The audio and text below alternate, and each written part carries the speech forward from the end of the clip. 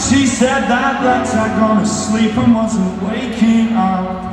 And even though I knew that there was nothing to be done I felt bad for not being there and now she was gone. So I tried to think what Alexa want me to do At times like this. When I was feeling blue Together some friends who spread the sad, sad news And we hate